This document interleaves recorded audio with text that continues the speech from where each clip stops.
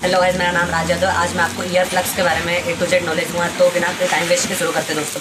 तो पहला आपका क्वेश्चन रहता है कि भाई, कहाँ पर मिलेगा ईयर प्लग्स तो भैया, मेरे को बहुत प्रॉब्लम हुई थी ढूँढने में, पर मेरे को लास्टली मेरे को मैंने सर्च किया था तो यूट्यूब पर तो मेरे को एक ने बताया था कि ये मेडिकल स्टोर पर मिल जाएँगे। तो आप दोस्तों, आपको कोई सा भी छोटे या बड़े, मेरे को बड़े बड़े मेडिकल पर पहले घूमा तो वहाँ पर नहीं मिले। फिर मैं छोटे मेडिकल पर गया तो वहाँ पर आसानी से मिल गए थे।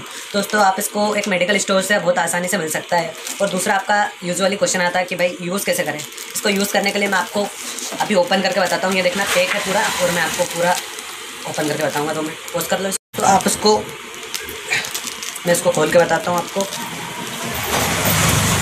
दोस्तों यूजुअली ये ऐसा रहता है ईयरप्लग्स थ्री एम का है, और मैं इस, मैंने फ़र्स्ट टाइम इसको लगाया था तो कान में एकदम ऐसे लगाया था। तो मैं इसे लगा नहीं तो एकदम मैं डर गया कि भाई क्या हो गया, कि ऐसे मतलब आड़े हो गए थे। तो फिर मैंने देखा कि भैया ये ऐसे है, इसको ऐसे करके यूज़ करना है। इसलिए आपको ऐसा करना है और यहाँ पे कानों में लगाना है। ये है ना बिल्कुल गादी के गादी है भाई। ये बिल्कुल ऐसे। तो एकदम थोड़ी सी देर में आपको बिल्कुल सेम इसकी साइज़ में आ जाएगी। ये।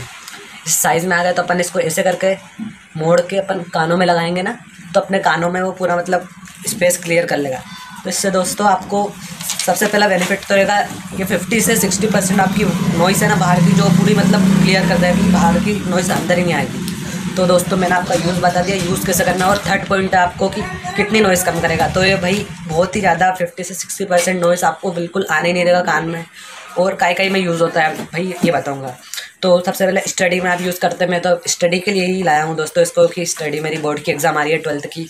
तो इसके लिए लाया। हूँ और स्टडी मेडिटेशन मेडिटेशन के लिए भी नॉर्मली यूज़ होता है। स्टडी के साथ आप मेडिटेशन के लिए भी यूज़ कर सकते दोस्तों।